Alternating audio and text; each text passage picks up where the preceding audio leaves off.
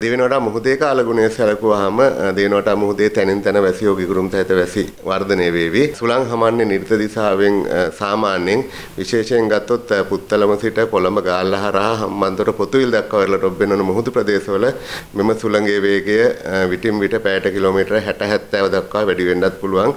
එම අවස්ථාවල එම මුහුදු විටින් විට ඉතා රළු වේවි.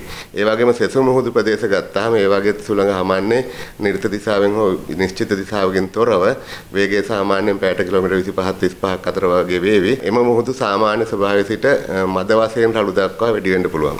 විශේෂයෙන්ම කියන්න ඕන කොළඹ සිට ගාල්ල හරහා පොතුවිල් දක්වා වෙරළ රොබ්බෙන් වන මුහුදු ප්‍රදේශවල යම් අවස්ථාවල මුහුදේ රළයේ උස මීටර 2කමාරක් 3ක් දක්වා වැඩි වෙන්න පුළුවන්. ඒ ගැනත් අවධානයෙන් කටයුතු කරන්න කියලා ඉල්ලා සිටිනවා.